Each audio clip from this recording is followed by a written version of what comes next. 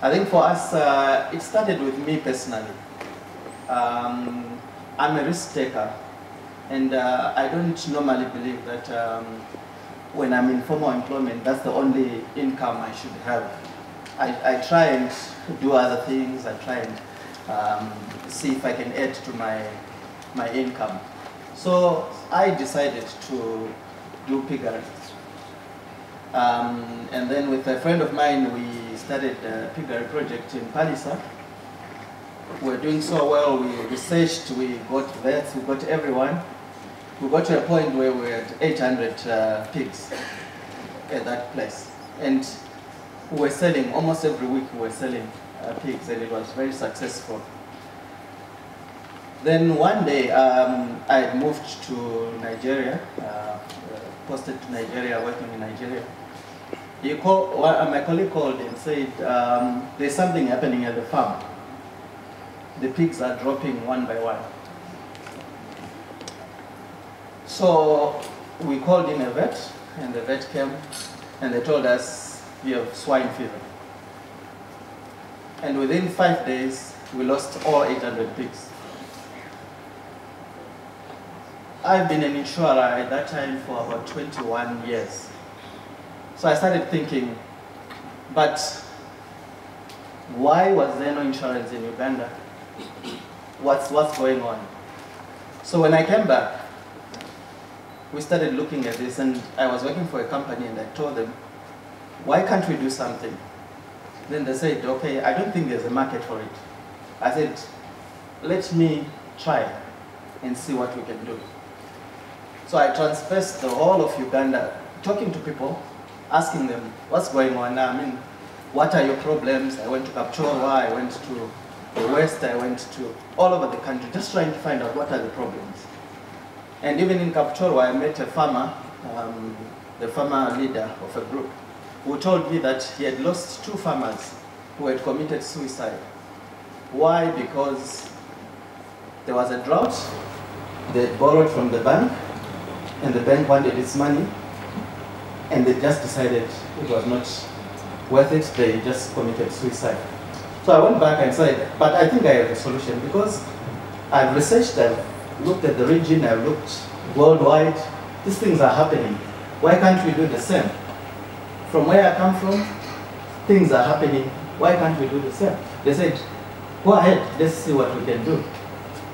So we started trying to look at agriculture and see how agriculture can, can work. Um, well, to cut the long story short, a consortium of seven insurers was formed and it was called Kungula. It started selling agriculture insurance, but strictly just doing drought insurance. Um, as we were going on, we started thinking the uptake was not going on and things were not happening. So we, again, we started looking at what is the problem? Why are things not happening? We started looking outside again and others, and we started seeing that maybe the products we are selling are not the right products for the people. Let's again look at the, uh, and talk to the people. So we discovered that one of the things was that some of the products were not right. We're almost cutting and pasting what is happening elsewhere, which might not happen and might not be ideal for Uganda. So we started now looking specifically at what should we do. One also other thing that started coming is as, as soon as we started looking at these products and they are happening, we saw that the pricing was too very high. And nothing much could be done about the pricing because of the nature of the risk of agriculture. So we said, let's look again and learn from others. So we looked, looked at India, we looked at Brazil, we looked at Senegal, Mali, Malawi, and discovered that the government was heavily involved in helping the agriculture uh, insurance industry. And they were doing that by a lot of things, subsidies, and also uh, data, uh, uh data uh, uh, issues, trying to make sure that data is available. Because for insurance to work, you need a lot of, a lot of data. So we also approached the, our own government here, and fortunately, they did support us and say they can do something. So that is when the agriculture insurance scheme that I'm going to talk about was born. This was in July uh, 2016 when the government said, okay, we'll put together stakeholders in the agriculture insurance uh, um, um, uh, sector to see what the scheme should do and have everyone contribute uh, uh, to that and make sure that we have a scheme that works for, for everyone. So the scheme was uh, launched in July 2016, which is a, a public-private partnership. Um, and its main aim was to hedge uh, Ugandan farmers against the natural risks that come up uh, when you're doing your, your farming. Whether it's crops, whether it's livestock, whatever it is, um, um, the, the scheme would help you on. So the government also asked that any insurer that was interested would also join in the scheme, but then 10 insurance companies decided that they would want to join uh, the scheme and, and, uh, and uh, offer agriculture insurance. And they together formed a consortium which is called the Agro Consortium, which is the consortium that I led um, since uh, 2016. The aim of the consortium is a platform for these 10 insurance companies to insure the farmers on different things. So we insure crops, but we also insure uh, cattle, poultry, pigs, and also we are into uh, fisheries. Eligibility of the scheme, any farmer is eligible into the scheme. The only difference is that we categorize you whether a large scale or a small scale uh, farmer.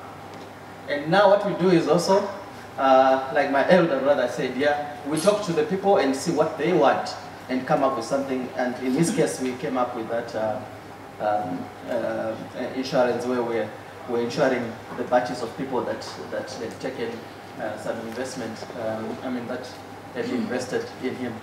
So we found that it's always good to always talk to the people first, hear what they want to insure, and then tailor make it uh, to that.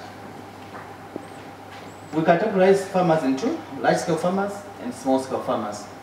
I'm not going to talk about crop, I'm going to talk more about uh, on the animal side. Uh, for the animals, we categorize you according to the number of animals that you have.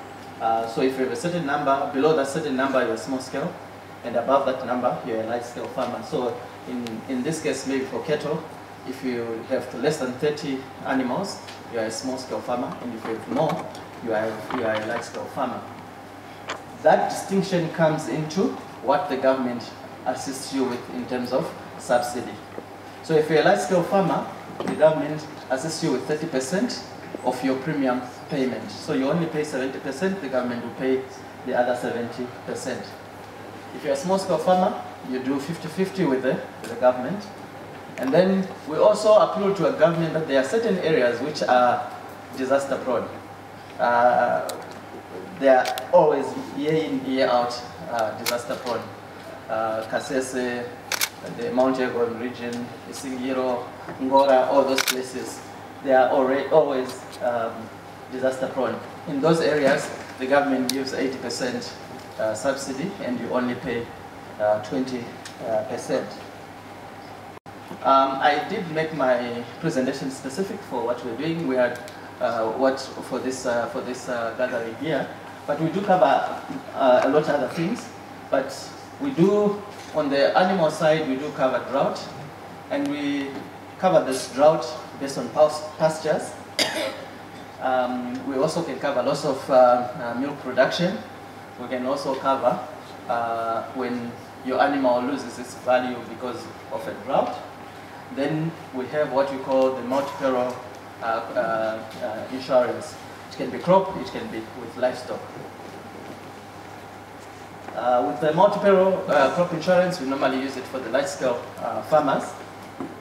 this, we have different um, risks that we cover, from um, death due to different things, disease, um, theft, and, and all, all the other normal uh, issues that, um, uh, that uh, affect the, the, the animals. Um, we also have uh, known that um, that yes we use for the large scale, but the small scale farmers also have issues. And um, I'm not going to talk much uh, about that, but I'll just paraphrase it and, and, talk about in summary. For the small scale farmers, we use uh, satellite uh, technology, that's the innovation that we use, and track the pastures, how the pastures are doing. Uh, and once we know that there's loss of pastures, we also know that in turn, uh, the, the animals are, are, suffering. So that's the kind of uh, um, technology that we uh, we use. So in the end, uh, our technology will allow us uh, to be able to read what is happening and make that into, um, we, can make that into something that we can use and then allocate how much percentage of pasture has been lost uh, or has been, has been um, uh, or whether it was a, a normal rainfall season or not. Um, I'm going to cut out most of these other things, but I'm going to say in our case, um, unlike most other uh, where we would say maybe government needs to do this to us, we are happy to say that the government has actually helped us uh, uh, with, uh, with subsidy. They've also helped us with funds for awareness. Obviously, we still need more help in terms of awareness, but my, my message or my pitch, my elevator pitch is that the government gave us money. Uh, each year, they give us 5 billion if we use it, it can be extended to 10 billion. My pitch is that the money is available. We do not want to take it back. It's there. So those that are insured, I mean, they've got uh, cattle or, or poultry or whatever to insure, uh, please visit us. The money is there to help you with subsidy. So you, uh, so you need to take advantage of, uh, of that. Uh, thank you.